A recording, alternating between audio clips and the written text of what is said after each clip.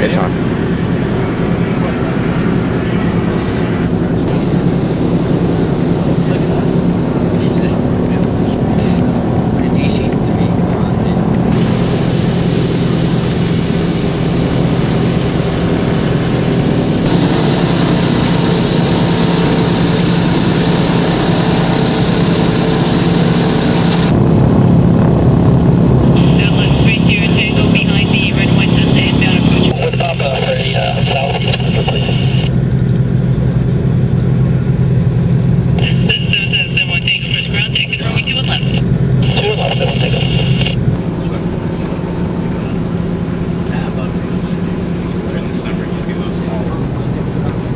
It's over uh, in front of the, uh, front of the...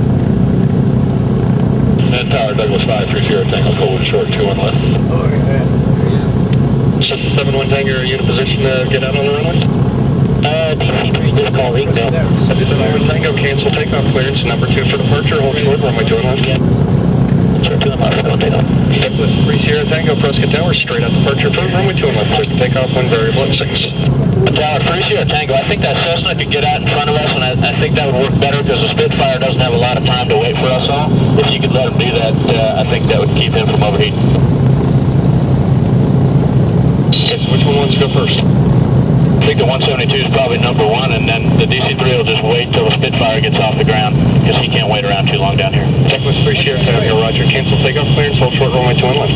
Free Sierra Tango, hold short, two and left. 771 Tango, runway 2 on left, clear for takeoff, southeast bound approved, traffic King Air inbound from east. Clear two and left for Southeast departure, in Tango. Take the DC-3. Douglas 3 Sierra Tango, I understand you're going to wait for the Spitfire? We'll let him launch.